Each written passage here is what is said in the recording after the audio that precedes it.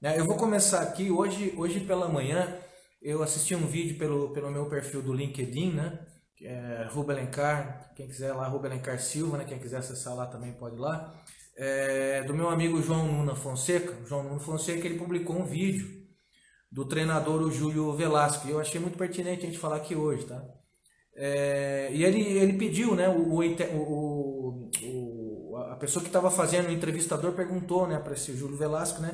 Dicas, né, para quem está começando agora como treinador de futebol. Eu achei muito pertinente a gente falar aqui hoje, né? Na verdade, a gente vai fazer uma, uma sessão de perguntas e respostas, mas eu acho pertinente a gente colocar isso aqui agora, tá? Então, o que, que ele disse? Né? A, primeira, a primeira dica, né? Autenticidade. O treinador ele precisa ser autêntico. Ele precisa ser uma pessoa, né? Que, que, que é, é, passe, né? passe segurança, passe é, credibilidade né? na, na forma que ele é. Ele tem que ser ele mesmo, seja você mesmo em qualquer situação. Né? Porque se você for autêntico, né? os grupos, né, eles gostam disso, eles, eles, eles, é, eles, querem, é, é, eles querem que você seja autêntico, que seja verdadeiro com eles, né? Não adianta você querer imitar, querer usar uns jargões assim de, de grandes treinadores, tal, tal, tal. Não adianta, tem que ser autêntico. Você precisa ser autêntico. Você precisa ser uma pessoa que fale a verdade e que utilize, né, das suas, das suas tomadas de decisões pautado na verdade respeitando todos e sempre pautando na verdade. O segundo, a segunda dica, né, que o Júlio Velasco, né, colocou, né, seria o saber, né? Porque você tem que ter um conhecimento específico daquilo que você quer, daquilo que você é, é o porquê daquilo e porquê que você está ali e aonde você quer chegar. Porque o líder, no meu ponto de vista, o líder que é visionário, ele só consegue levar as pessoas junto com ele, é, o grupo dele, se ele for uma pessoa visionária e ele conseguir passar isso, né? Ele tem que, ele tem que ter um entendimento específico daquilo que ele quer. Né? E o outro, né, é, que ele diz, né, que é, se você sabe alguma coisa, né, se você sabe, você passe para eles. Né? Você tem que saber, tem que ter esse conhecimento específico e ter a sabedoria para passar. E se você não sabe, você também tem que dizer que não sabe. Você não é dono da, dono da verdade. Na verdade, eu sempre falo o seguinte, tá? Eu sou o dono da minha verdade. Eu não sou o dono de toda a verdade. Eu não sou o dono da verdade. Sabe? Eu sou o dono da minha verdade, eu sou o dono da minha experiência, daquilo que eu sei e aonde eu quero chegar. Né?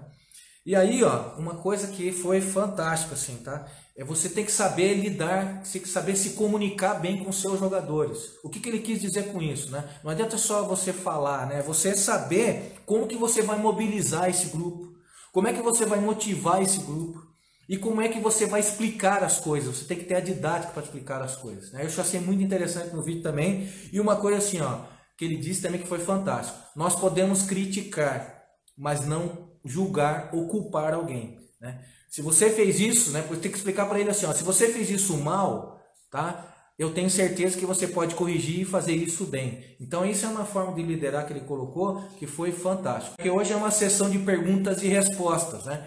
Então pode já colocando as suas perguntas. Já vamos colocando aí algumas perguntas que você tem interesse sobre treinamento de futebol. Eu também colhi algumas perguntas também, né, que foram feitas, né, no meu, no meu perfil, né, da, da do Instagram, né. E o que eu estava comentando antes, né, é, na verdade, né, foram três tópicos, né, que o, o, o treinador, o Júlio Velasco, ele mencionou nesse vídeo do LinkedIn, que até inclusive eu, eu republiquei ele, né, eu compartilhei esse vídeo lá no, no meu perfil do LinkedIn. Primeira pergunta eu vou responder o, o César Sepp, né? Ele está, inclusive, está falando dos Emirados Árabes agora, né? Dubai. Prazer, César. Grande abraço para você, né? É o meu aluno, inclusive, né? No curso é, Futebol, Estratégia, Ataque, né? Organização Ofensiva, né? Tá começando a fazer o curso com a gente. Prazer, um grande prazer estar aqui com a gente, viu, César? E ele fez a seguinte questão: Na sua opinião, o jogador deve adaptar-se ao estilo do treinador ou o treinador adaptar-se para com as características do atleta? Boa pergunta, excelente pergunta, César. É, eu sempre tenho comigo né, a seguinte referência. Né? Você primeiro, primeira coisa quando você chega num clube, você tem que entender rapidamente qual é o ambiente, qual é a cultura né, de futebol que existe naquele, naquele clube que você está chegando.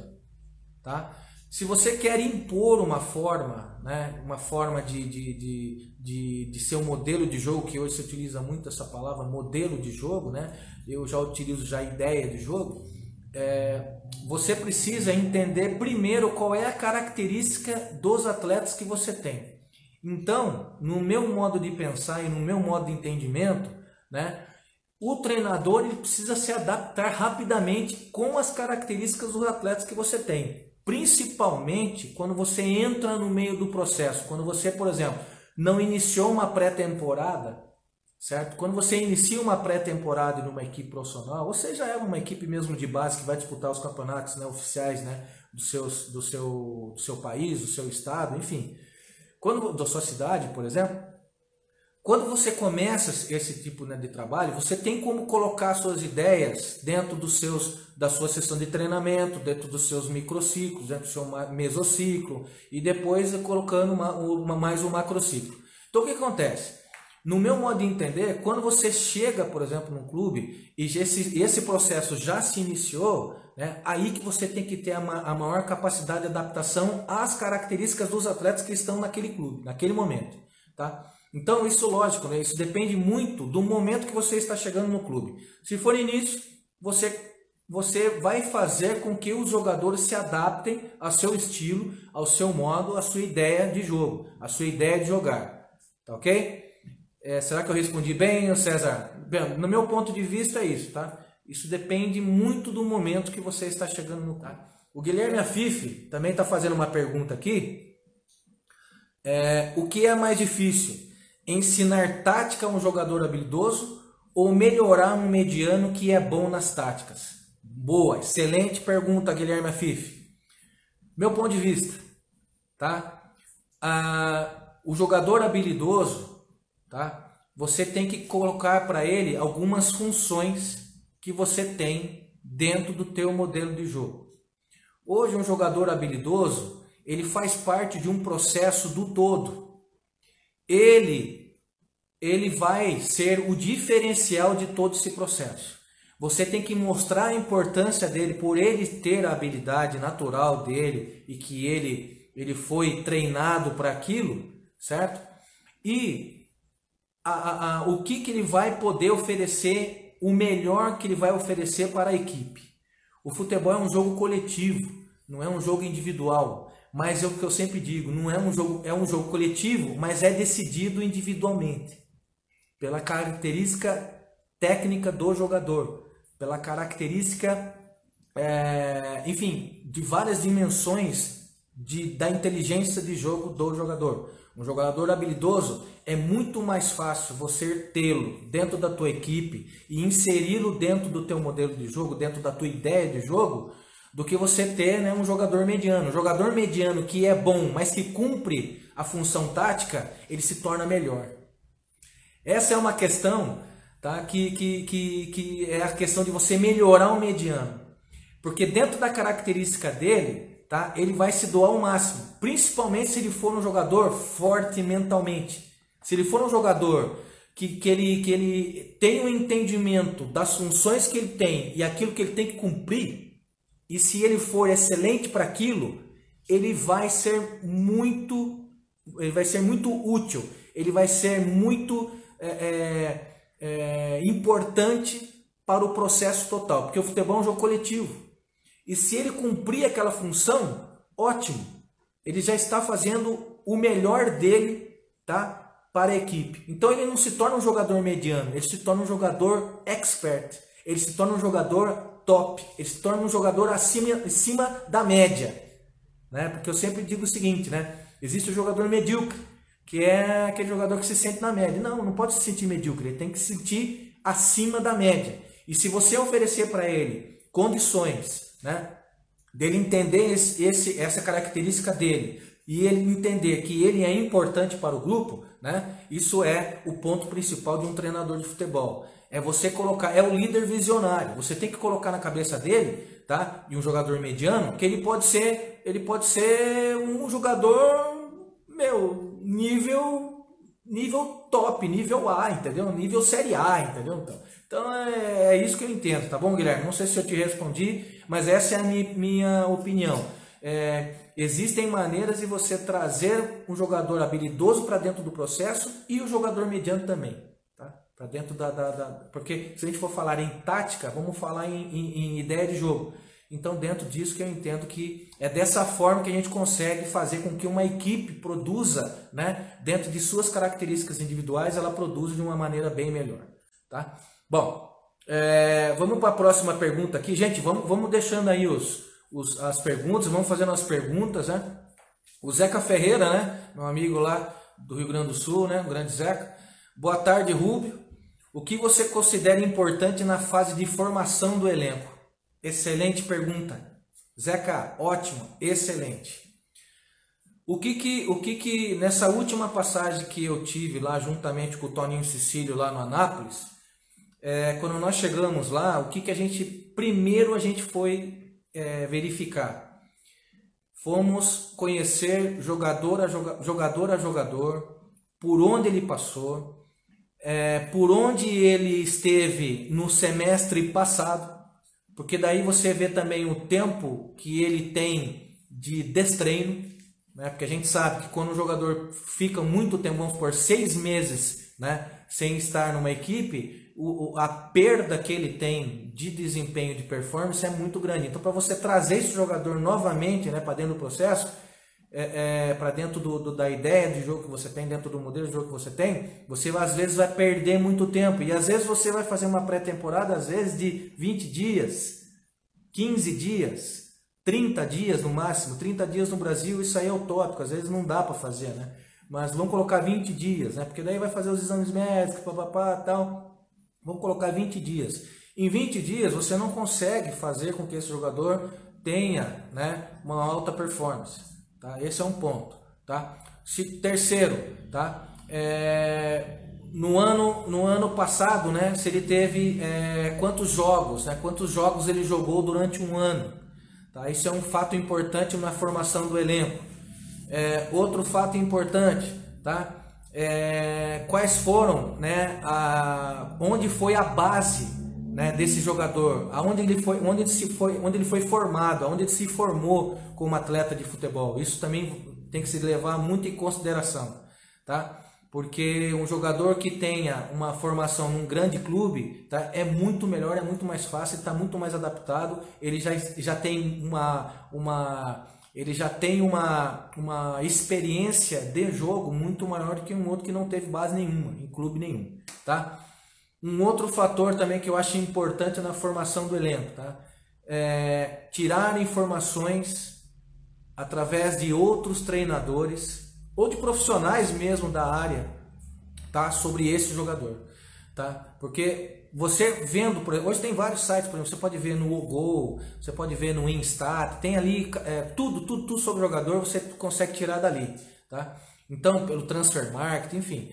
Ali você consegue ver por onde ele passou, é, é, é, e aí você vai ligar, vai tirar as informações com o treinador dele, ou com o preparador físico dele, ou com alguém que trabalhou junto com ele, para você trazê-lo e ver qual é, principalmente, a questão é, da, da característica dele emocional, formação, o cara, o homem, entendeu?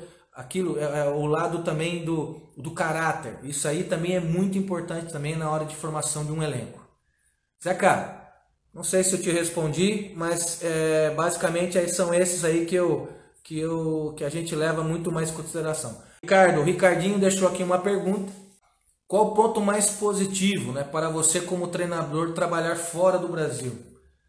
Ah, alguns até, até inclusive né, o Fael também já trabalhou fora também bastante tempo né Fael? O César agora CEP né agora tá, também está fora. E o que que eu o que que eu vejo de ponto mais positivo né?